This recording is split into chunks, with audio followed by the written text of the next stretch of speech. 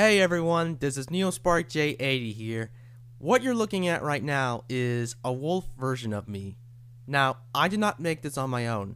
As a matter of fact, I found a link khalypso DaVinci Art, or whatever it is, in Wolfmaker version 2. Credits go to him too, you know. I got the link in the descriptions if you like to create your own wolf, you know. Anyways, we all have our fair share, right? Credits go to him too. Don't forget that. Anyways, thank you.